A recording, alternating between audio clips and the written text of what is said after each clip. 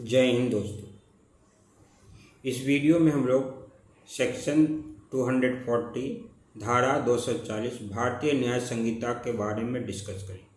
ये सेक्शन या ये धारा कहता है या उसके लिए बना है, जो व्यक्ति किसी भी केस के लिए मीन्स क्रिमिनल केस के लिए या किसी भी अपराध का जो विटनेस बनता है या गवाह बनता है अगर वो केस से जुड़ा किसी मामले या आप कह सकते हैं ऑफेंस से जुड़ा किसी मामले में, वो गलत गवाही देता है, या गलत सूचना देता है तो ये अपराध माना जाएगा, उसका गलत बोलना या गलत सूचना।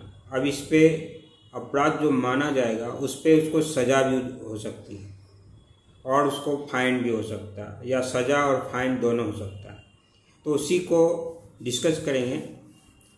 स्टार्ट करने के पहले आपसे रिक्वेस्ट है कि अगर आप मेरे चैनल को सब्सक्राइब नहीं किया तो मेरे चैनल को सब्सक्राइब कीजिए, मेरे चैनल से जुड़िए और पूरा वीडियो देखिए और पूरा वीडियो देखने के बाद आपको पूरा प्रोविज़न या पूरा जो है इसका क्राइटेरिया या क्या कहता है ये धारा वो आपको पता हो जाएगा जैसा कि मैं बताया कि इस सेक्शन 240 धारा 240 किसी भी गवाही वा, देने वाले या किसी भी व्यक्ति जो गलत इन्फॉर्मेशन देगा किसी केस से रिलेटेड तो अपराध माना जाएगा। वो ऑलरेडी मैं बता ही चुका।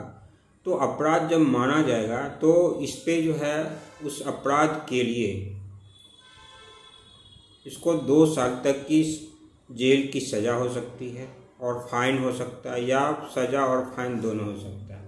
अब डिपेंड करता है ये कि जो गवाही देगा गलत सूचना अपराध से जुड़ा तो ये प्रूव्ड होना चाहिए। अगर इनके ऊपर प्रूव्ड हो जाएगा कि ये विटनेस बना था, या ये गवाही देने वाला बना था किसी केस का, और गलत गवाह दे रहा ये प्रूव्ड हो जाएगा तो फिर जैसा कि मैं बताया, उसको दो साल तक की जेल और या तो फाइन या तो जो है फाइन और जेल दोनों हो सकता है। तो इस वीडियो में इतना ही। Thank you